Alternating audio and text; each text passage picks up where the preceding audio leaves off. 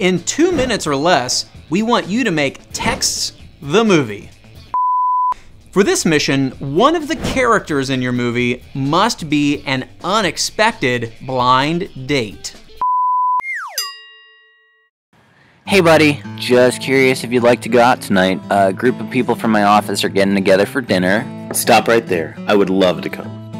Great, I'll have my friend from work pick you up. I'm sure it won't be a problem. She will text you later. Hi, Julian. This is Georgia. Ben gave me your number. Smiley face. Hi. Just let me know when you're here tonight and I'll come down. Okay. Guess this is kind of like a blind date.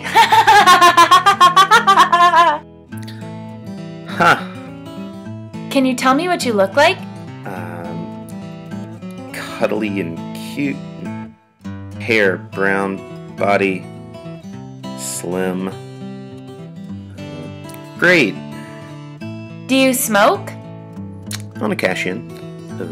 Occasion. Cashin. No.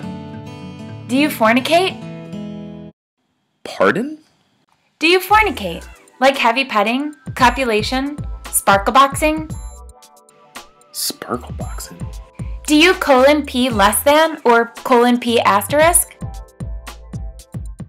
I have no idea what that means. Ha! You're silly.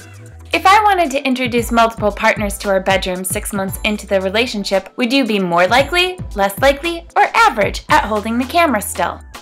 I think we may have gotten mixed signals about tonight. Sometimes I like to call my third grade teacher while a guy punches my butt cheeks, but only after eating breakfast for dinner. You know, if it's too much trouble, I can walk to the restaurant. Mmm, I can't wait for dinner. Hope you're hungry. Yeah, I hear Kittens has the best dinner. And by dinner, I mean lapping hot soup from my. Maybe I'll just take a taxi. You're gonna want to get to the soup while it's still warm. Pick me up at 6. Sounds good. I'm allergic to bisque. Don't forget to follow us on Twitter, like us on Facebook, and of course, subscribe to our YouTube channel. That way you'll stay up to date on all of our latest missions.